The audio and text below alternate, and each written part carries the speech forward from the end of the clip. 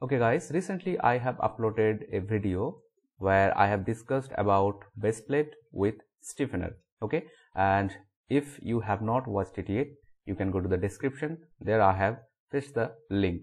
Okay, and in this video I have discussed about how to use the stiffener to strengthen the base plate and why the shape of the stiffener should be like this.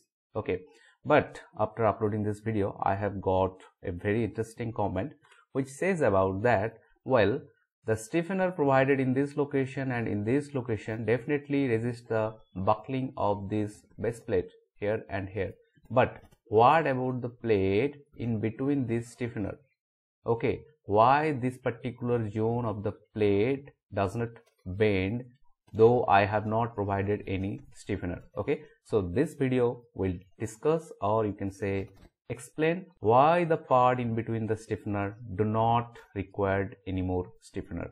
Okay so before starting this video if you are new to this channel please do subscribe and also don't forget to press the bell icon so that in future you can be benefited.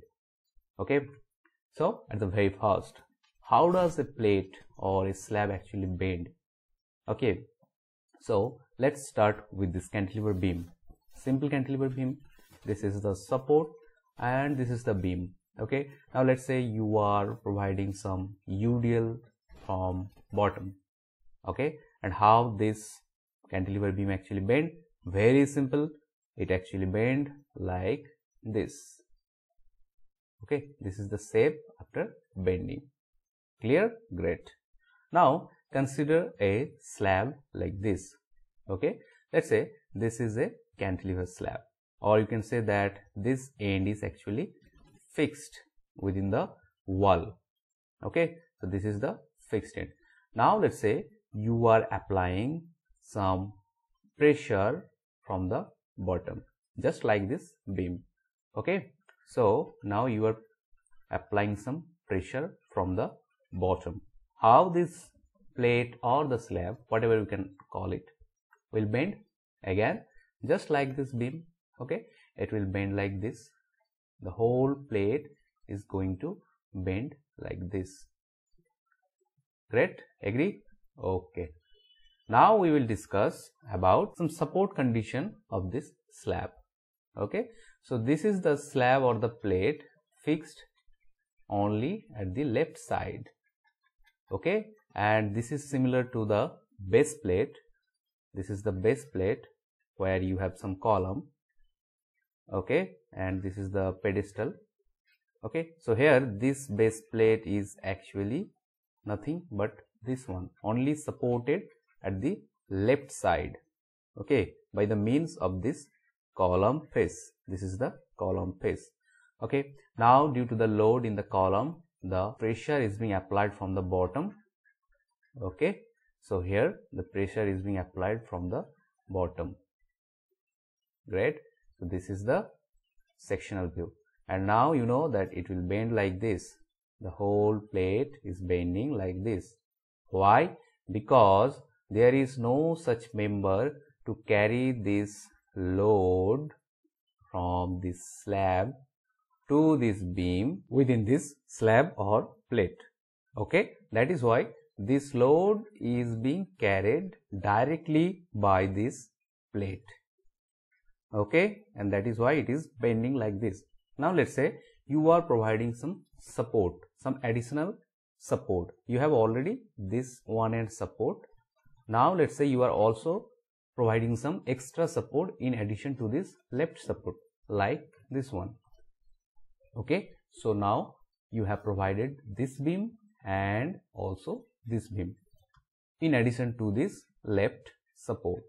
Okay now again you are applying the load from beneath of this plate. Under of this plate or this slab there is a uniformly distributed pressure load. Okay. Now how this load is going to be transferred?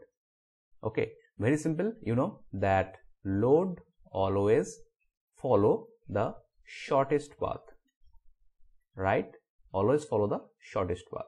Okay. Now let's say when there is some load, let's say here, where it will go? To this beam or to this beam or to this beam.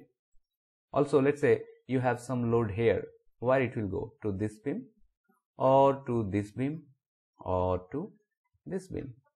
At the right side there is no such support. So it will only go to any of these three beam.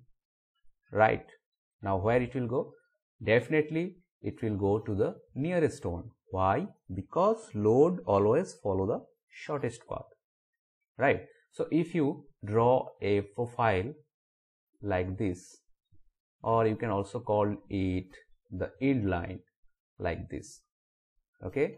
So here you can see that all this load in this zone goes to this particular beam right?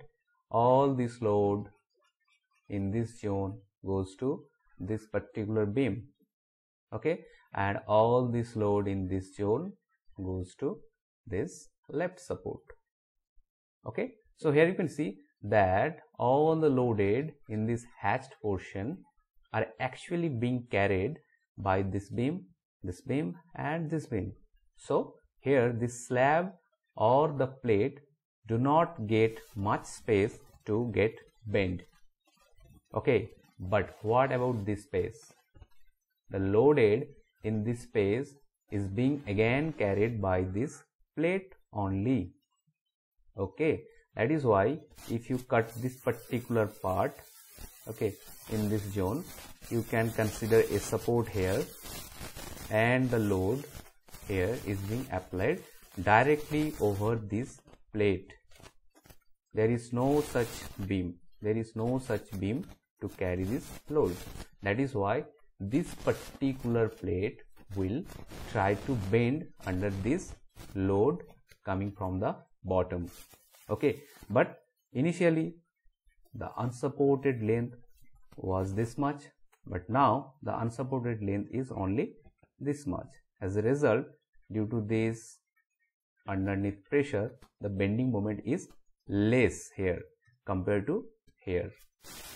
Okay and that is why this particular plate do not bend. Why? The unsupported length has been reduced. Okay so finally let's come to the point. Here you can see that this particular column face is nothing but this support. Okay now this stiffener is acting like beam and also this stiffener is acting like a beam. Okay? Now all this load from this zone goes to this beam. Here like this. Okay? So all this load here goes goes to this particular column. Then all this load from here goes to this beam. Or you can say all this load from here goes to this stiffener.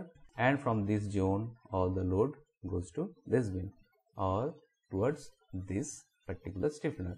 So here you can see there is a very little area where the load is being carried directly through this plate.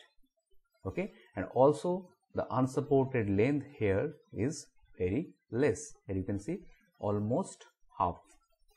Okay? That is the reason this particular part do not require any more stiffener to resist the bending got it? So that's it. If you like this video don't forget to share it